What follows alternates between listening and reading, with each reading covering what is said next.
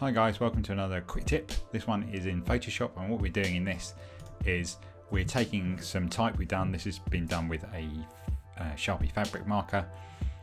We want to keep that really nice texture. We could, could take an Illustrator, an image tracer if we lose all that really natural texture you get from like this pen is just sort of running out a bit. So we've done that, we've scanned it in, but we want to remove the back, background so we can place it over a photo or place it over a solid color. I'm going to show you how to do that. Also, while I'm showing you, we're going to set up an action so that instead of having to go through the procedure each time, you just click a button and it will do it all for you. Uh, so it saves you a ton of time. So I'm going to go through while recording the action. Probably best if you go through a few times just going through the motions because uh, the action will record everything you do, so even your mistakes. So um, it's best to get go through maybe this tutorial a few times just to um, get it right um, and then you yeah and then have a performance of getting the action right.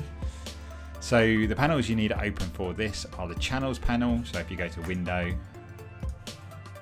the action panel the channel panel and the layers panel. And so we want to set up a new action. So first of all we set up a new folder. We call this um, remove action. And then we want to record a um, new action. So I click record new action thing. Just remove for now. Remove BG for background. You can also set up a, a, key for this, so you can just press a key and it'll do it automatically for you. Um, okay, so we're now recording, so everything I do will be recorded in this action. So I need to get it right. so first off, we need to select the whole canvas. So we want to go to select, select all. Then down the bottom of the channels panel, we want to click the first box with the dotted arrows, load channel selection. As you can see, you change the selection, so it's selected the black areas in here. Then we want to click the one next to that. So it creates this alpha channel. Then what we want to do is holding in the command key, click on the alpha channel so that it does that selection of the alpha channel.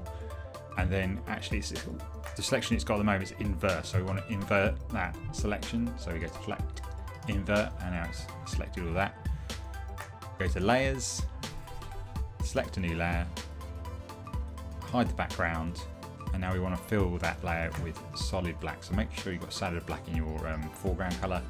And we go to edit, fill, make sure that the contents is uh, selected foreground color, normal blending mode, 100% opacity, OK that. And then we want to deselect, select, deselect, and remove the background layer just by dragging that to the trash can. And now that's our action done. So what we can do now is just click stop there. So as you can see, it's got all the different stages we've been through. Now, if I go and get a photo, one's from unsplash.com, paste that in, we see that we have our typo there. It's kept that texture. Um, obviously we want it white if we've got a dark photo, so double click on that layer, bring up the layer styles, click on color overlay, select white from there, and there we have this really nice textured type that we've drawn, um, keeping that really nice um, look in each of the letters. And we've now got an action that does it um, really quickly. So if I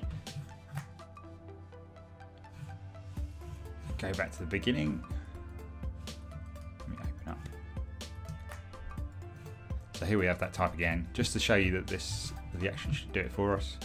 Hopefully, if it, I've done everything right. So if we play that action, there we go, done straight away, like literally not even a second to do that. And now, add a solid color.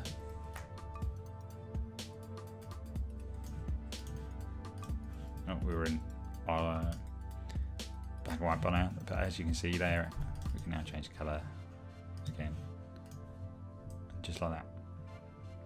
So there you go. Um, fairly straightforward, but you may need to, like I said, go through the uh, go through this a few times before you actually record the action, just so you've got you understand where you're going. Um, I hope you found that useful, guys. Please uh, like the video, subscribe if you haven't already. Uh, but otherwise, I'll see you in my next video.